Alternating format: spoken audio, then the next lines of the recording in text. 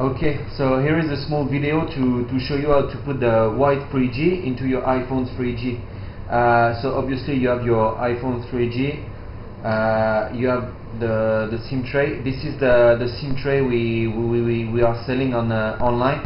Uh, so it's quite similar to, to the original one. The, the main difference is uh, we made it so it cannot break.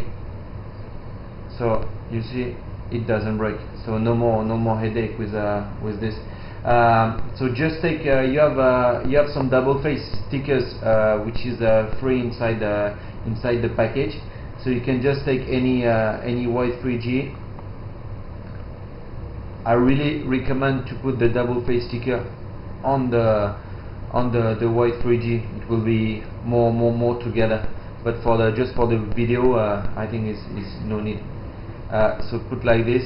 Obviously, the IC is face back to the SIM so like this the SIM no need to cut put together.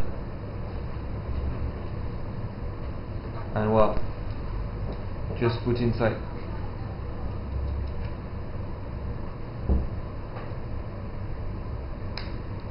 Here we go. Thank you. Bye bye